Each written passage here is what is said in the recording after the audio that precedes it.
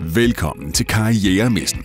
Her får du som studerende mulighed for at komme i kontakt med virksomheder, der gerne vil rekruttere studerende og nyuddannede fra Aalborg Universitet.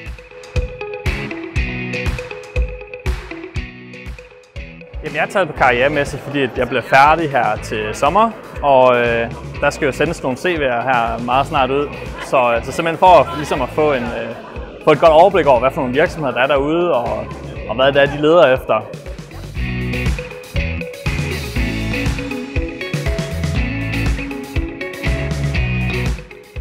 Jamen, Gomspace øh, vil rigtig gerne være med på karrieremessen i dag, fordi vi giver os mulighed for at møde en masse studerende med meget bred baggrund.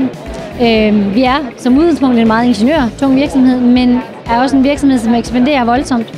Og det betyder også, at vi får brug for alle supportfunktionerne. Vi får brug for en bredere palette af, af medarbejdere.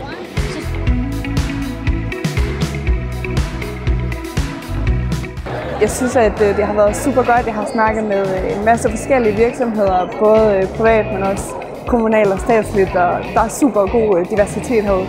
Jeg har været over og snakket med Energistyrelsen og har fået simpelthen en konkret kontakt, jeg kan stå på en ansøgning, så det var super fedt. Læs mere om karrieremessen på karriere.aau.dk.